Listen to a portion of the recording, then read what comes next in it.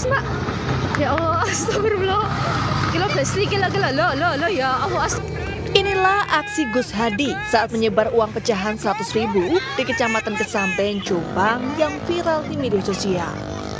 Sayangnya sejumlah lembar uang sobek lantaran warga saling berebut mendapatkan uang yang dilempar dari dalam mobil.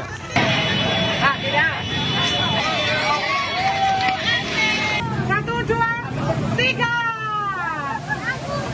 Selain di Jombang, Gus Hadi juga menyebarkan uang pecahan 50 ribu di depan rumahnya di Bebekan Taman Sidoarjo. Meski waktunya tidak terjadwal, namun pria ini akan menyebar uang minimal satu kali setiap pekannya.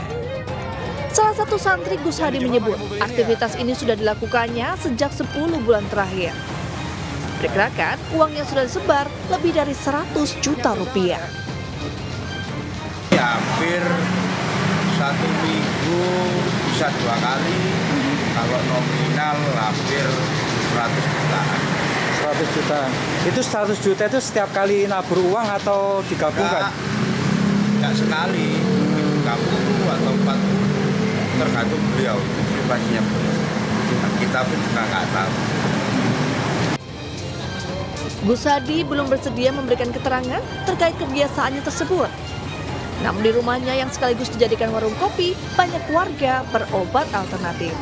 Dari Sidoarjo, Jawa Timur, Yoyo Agusta, iNews melaporkan.